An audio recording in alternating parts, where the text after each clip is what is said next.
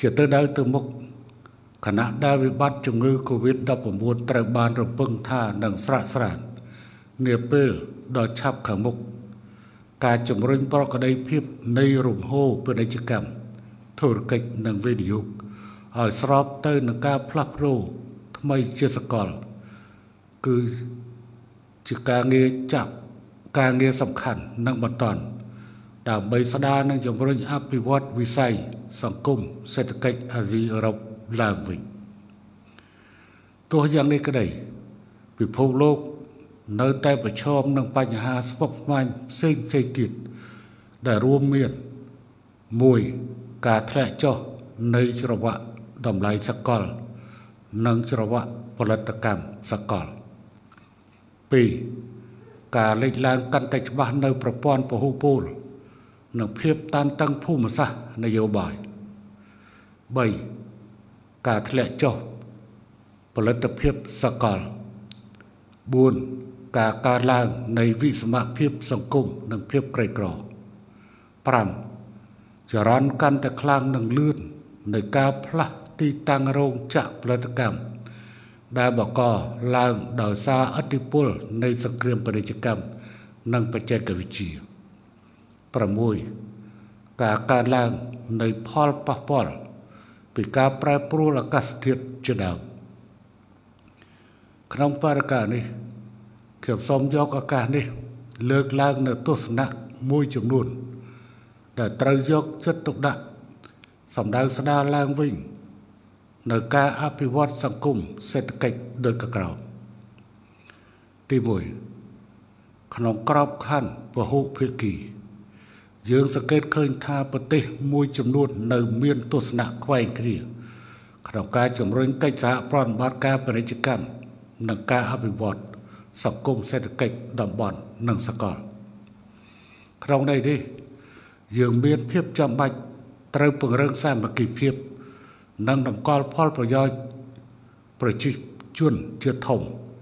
ដោយប្រព័ន្ធភ្ជាប់នៅយន្តការពហុភាគីនិយមក្នុងការដោះស្រាយបញ្ហា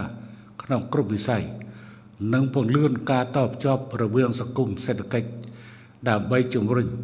របៀបវិរៈនៃការអភិវឌ្ឍរបស់យើងប្រកបដោយចីរភាពនិងបរិយាបន្នទី2ពាណិជ្ជកម្មអន្តរជាតិគឺជាក្បាលម៉ាស៊ីនមួយសំខាន់សម្រាប់ជំរុញកំណើនសេដ្ឋកិច្ចនិងបង្កើតការងារជូនប្រជាជន ជាមួយនឹងនិន្នាការនៃការផ្លាស់ប្ដូរនៅក្នុងពាណិជ្ជកម្មនិងខ្សែច្រវាក់គុតគួងសកលខ្ញុំយល់ថាតំបន់យើងទាំងពីរត្រូវតែបង្កើនការយកចិត្តទុកដាក់លើការគ្រប់គ្រងប្រព័ន្ធពាណិជ្ជកម្មពហុភាគី ជាពិសេសការជំរុញការធ្វើសេរីភាវូបរិយាកម្មនិងកិច្ចសម្រួលពាណិជ្ជកម្មឲ្យកាន់តែស៊ីជម្រៅបន្ថែមទៀត តាមរយៈការលុបបំបាត់របាំងសម្រាប់ពាណិជ្ជកម្មនិងការវិនិយោគដើម្បីទាញយកសក្តានុពលជាអតិបរមាពីកិច្ចសហប្រតិបត្តិការពាណិជ្ជកម្មអាស៊ីអឺរ៉ុបទី3ក្នុងបរិការនៃបដិវត្តឧស្សាហកម្មទី4ការសម្របខ្លួន ទៅនឹងកន្លងប្រក្តីភាពថ្មី និងជំរុញកាន់តែខ្លាំង ដល់ការចាប់យកបច្ចេកវិទ្យា Digital សម្រាប់ការរស់នៅ ការអភិវឌ្ឍឧស្សាហកម្មនិងការធ្វើឧស្សាហូបនីយកម្មសេដ្ឋកិច្ចអាស្រ័យហេតុនេះយើងត្រូវរួមគ្នាទាញយកប្រយោជន៍ពីបដិវត្តឧស្សាហកម្មទី4នេះ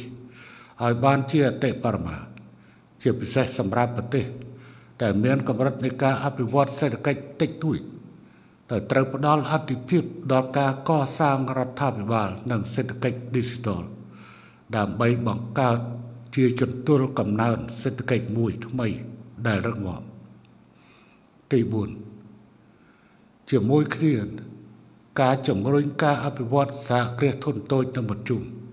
ជាកិច្ចការអតិភិបដ៏សំខាន់មួយផងដែរប្រការនេះទាមទារនឹងការលើកកម្ពស់កិច្ចសហការ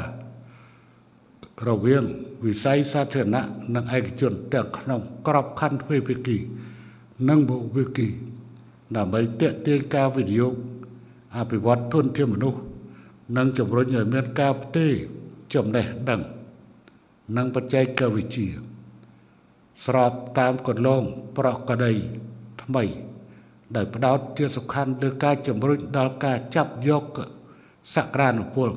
ពីបដិវត្តឧស្សាហកម្មទី4 ការលើកកម្ពស់បរិវត្តកម្ម digital និងការអភិវឌ្ឍពាណិជ្ជកម្មតាមប្រព័ន្ធអេឡិចត្រូនិកជាដើមតាមរយៈការលើកកម្ពស់ការទទួលបាន ការគ្រប់គ្រងទាំងផ្នែកគោលនយោបាយ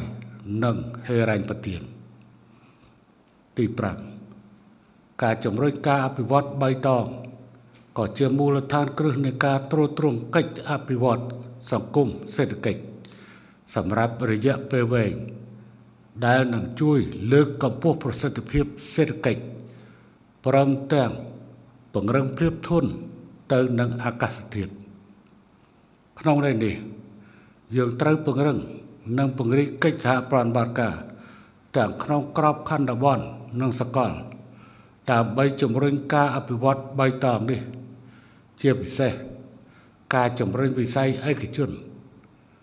ឲ្យបង្កើនការវិនិយោគបៃតងពង្រឹងប្រសិទ្ធភាពនៃការវិនិយោគ